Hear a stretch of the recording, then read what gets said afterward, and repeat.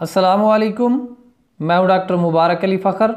तमाम फ्रेंड्स को चैनल पर वेलकम खुश आमदीद वीवर्स आज का हमारा टॉपिक ब्लड इन यूरिन मवेशियों के पेशाब में खून का आना। मवेशियों के पेशाब में वीवर्स खून मुख्तलिफ़ वजूहत की वजह से आता है, जिनका ट्रीटमेंट डाइगनोस और अलामत भी मुख्तलिफ़ होती हैं। आज का जो हमारा टॉपिक है, वो है PPH post parturient haemoglobinuria का। केस है, ये गाय जिसकी आठ से दस दिन पहले काविंग हुई है, आप देख सकते हैं डार्क ब्राउन कलर का ये। पेशाब में इसके कलर हो कलर है यूरिन का, इसमें डार्क ब्राउन कलर का ब्लड आ रहा है, ये देख सकते हैं आप। वीवर्स तो पोस्ट पार्चुरेंट होमोग्लोबन यूरिया की दोस्तों, क्या वजूहत हैं आखिर? सबसे पहले आते हैं कि इसकी वजूहत क्या हैं। तो दोस्तों, इसकी वजूहत में सबसे जो कॉमन प्रॉब्लम है कॉमन वजह है, वो है deficiency of phosphorus deficiency of phosphorus जिसे हाइपोफास्फेटीमिया भी कहते हैं। दोस्तों बॉडी के अंदर फास्फोरस की मकदार का कम हो जाना की वजह से ये प्रॉब्लम डिवेल्प होती है। उसके साथ लो कॉपर फीडिंग के अंदर देना और कैल्शियम की मकदार ज़्यादा और फास्फोर्स की मकदार कम दी जाए, राशन के अंदर खाने वाली जो जानवर का चारा होता है, जो खुराक होती है, उसमें कैल्शियम की मकदार ज़्यादा हो और फास्फोर्स की कम हो तो उस वजह से भी ये कंडीशन डेवलप होती है।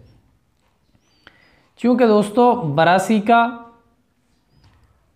शलजम और बंद गोभी और ग्रीन अल्फाफा ग्रास इसके साथ साथ शुगर बीस्ट और सरसों के जो चारा है, उसका ज़्यादा इस्तेमाल की वजह से चूँकि इन तमाम चीज़ों में जो मैंने बताई हैं, इनमें फास्फोरस की मकदार बहुत ही कम होती है।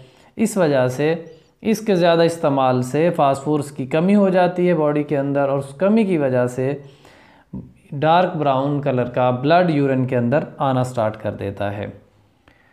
तो ये तो हो गई इसकी वजूहत। चूँकि आरबीसी के अंदर फास्फोरस कम होने से आरबीसी टूट जाता है रप्चर हो जाता है और intra intra intravascular haemolysis start जिसकी वजह से होमोग्लोबिन खून से निकलकर पेशाब में आ जाता है। और इसकी जो अलामत दोस्तों होती हैं, इसमें टेम्परेचर बिल्कुल नॉर्मल मिलता है स्टार्ट में जानवर बिल्कुल ठीक आता है, आहिस्ता आहिस्ता फीडिंग को डिक्रीज़ कर देता है मिल्क प्रोडक्शन भी कम हो जाता है। लेथार्जी हो जाता है एनिमल, एनेमिक हो जाता है, म्यूकस मेम्ब्रेन पेल कलर की हो जाती है। और अगर इसका ट्रीटमेंट ना किया जाए तो फास्फोर्स की डेफिशिएंसी की वजह से, इस प्रॉब्लम की वजह से बाज़ केसेस में केसेस में जानवर बैठ जाता है, जानवर लेट जाता है और जानवर की डेथ हो जाती है। तो दोस्तों इसके साथ साथ जो पेशाब के अंदर खून आता है, एक और बीमारी है जिसका नाम है बाबिजियोसिस, जिसको रेड वाटर या रतमूत्रा भी कहते हैं। लेकिन उसमें और इसको डिफ्रेंशिएट हम इस तरह से करते हैं कि बाबिजियोसिस के अंदर टेम्परेचर हाई मिलता है जुओं और चिचड़ टिक्स की हिस्ट्री मिलती है टेम्परेचर हाई के साथ साथ उसमें जानवर का जो पेशाब होता है, पेशाब के अंदर जो ब्लड आता है, उसका कलर लाल रंग का होता है। जबकि हाइपोफास्फेटीमिया या पीपीएच के अंदर जो पेशाब का कलर होता है, वो डार्क ब्राउन होता है। ये इस, ये आप इस तरह से डिफ्रेंशिएट इन दोनों बीमारियों में कर सकते हैं। तो दोस्तों जो डेफिशिएंसी ऑफ़ फास्फोरस है ये जानवर में पहले भी हो सकती है बयाने से, बाद में भी हो सकती है। लेकिन इस केस में, चूँकि ये पोस्ट पारोचरेंट होमोग्लोबिन यूरिया है, क्योंकि इसकी काविंग हुई है, जैसे मैंने पहले बताया कि काविंग के आठ से दस दिन के बाद ये प्रॉब्लम हुई है। तो अब आते हैं कि आखिर इसका ट्रीटमेंट क्या किया जाए। तो ट्रीटमेंट बड़ा इसका दोस्तों सिंपल है और इसमें normal saline one thousand M L एक हज़ार एम एल नॉर्मल सलाइन में इंजेक्शन सोडियम एसिड फॉस्फेट साठ एम एल आई इस्तेमाल करना है। Sodium acid phosphorus sodium acid phosphate की जगह पे आप टोल्डियम फॉस सोडियम इस्तेमाल कर सकते हैं। इसके अलावा injection B one B six B twelve twenty five M L पच्चीस एम एल आई वी ये भी आपने नॉर्मल सलाइन में आई वी डाल देनी है।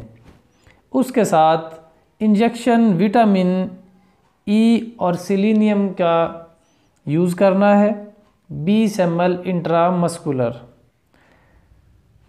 तो दोस्तों, इसके साथ साथ आप सोडियम एसिड फॉस्फेट, जिसको सोडा फॉस भी कहते हैं ऑरेली 40 ग्राम आप जानवर को दही में मिक्स करके पिलाएँ, और इसके बड़े अच्छे रिज़ल्ट आते हैं। सिंगल ट्रीटमेंट से ही जानवर रिकवर हो जाता है। अगर ज़रूरत पड़े तो sodium acid phosphate injection 40-50 M next day पे आप यूज़ कर सकते हैं। उसके साथ soda phos, sodium acid phosphate orally आप नेक्स्ट डे पे भी पिलाएँ, दो से तीन दिन पिलाएँ।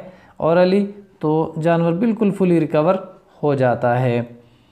तो ये दोस्तों, इस तरह से इलाज करें और बहुत अच्छे रिज़ल्ट आते हैं। अगर आपको आज की मेरी वीडियो पसंद आई हो तो चैनल को सब्सक्राइब करें, वीडियो को लाइक करें, दोस्तों के साथ शेयर करें।